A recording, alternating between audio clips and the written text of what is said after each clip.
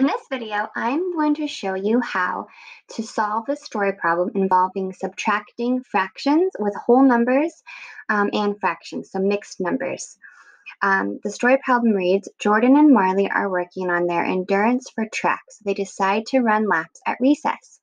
On Monday, Jordan ran 826 laps, and Marley ran 656 laps.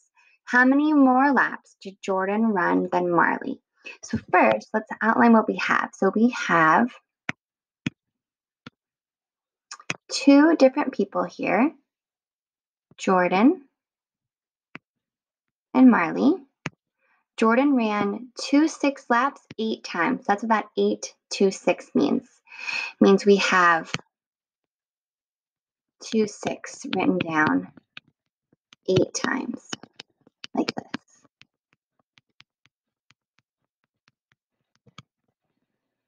One, two, three, four, five, six. Does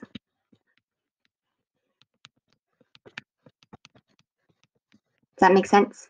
We have two six written down eight times, okay?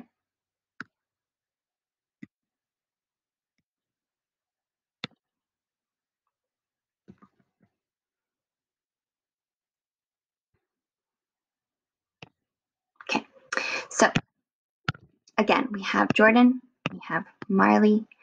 Jordan ran two six laps eight times. Marley ran five six laps six times.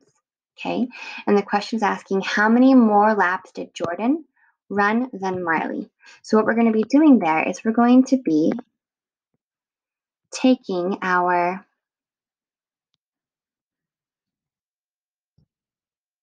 our 8 and 2, 6, and we're going to be subtracting it from 6 and 5 6. And we're going to get our answer that way. Okay?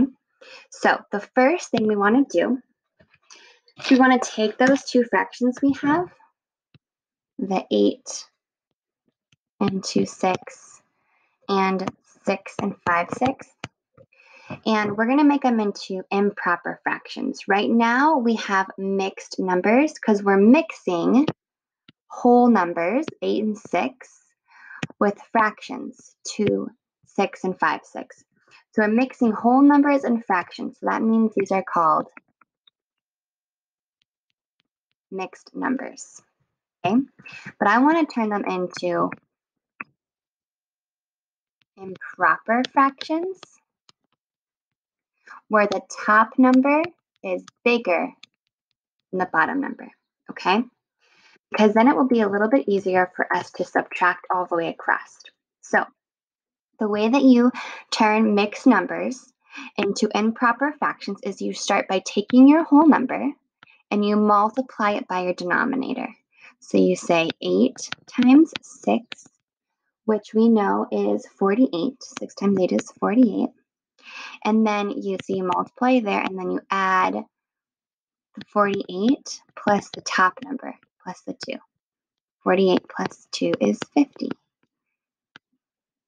So now we have 50 as our numerator, and your denominator never changes. It's 6 here, so that means it's going to be 6 here. So now we're basically rewrote 8 and 2, 6 into 56, okay? Now same thing on the other side. So you're going to do 6 times 6 which equals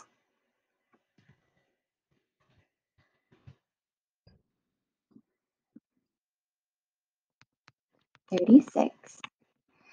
And then you're going to add 36 plus 5, which is going to give us 41. So now our new numerator is 41, and our denominator is the same. So whatever it was here, here it's a 6, so it's still going to be a 6. Okay? So now we can just subtract across here. It's a little bit easier now. We don't have whole numbers to deal with. We still have the same denominator. So now we're going to go to the next page just to kind of keep it a little cleaner.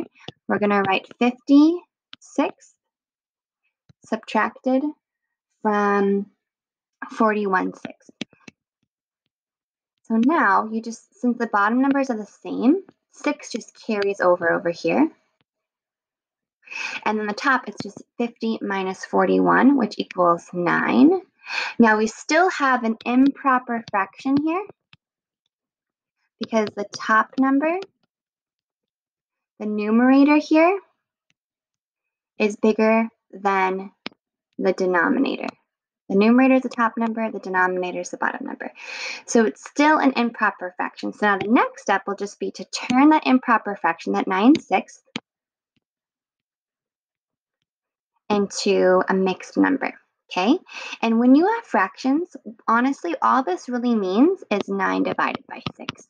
That's all this line right here really means. Okay, so we're going to do big, um, big 7 or partial quotients and divide 6 by 9. So it's an easy one here, just 6 times 1. We can't really do much more than that, or it'd be 12, which is too much. So then you have 6, so 6, 7, 8, 9, so 3. And then your answer, your quotient when you do big 7, your, your answer to your division problem is always whatever number you multiplied by. So over here it's 1, right? Our answer is 1. And then the, the bottom number here is going to be your numerator. So 1 and 3, and then your denominator doesn't change. It's still going to be 6. You're still going to keep it 6. So now our answer is 1 and 3 6. So instead of A, our answer is 1 and 3 6. So that means Jordan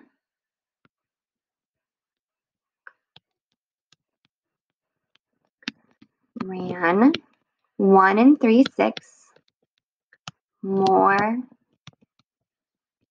laps than Marley.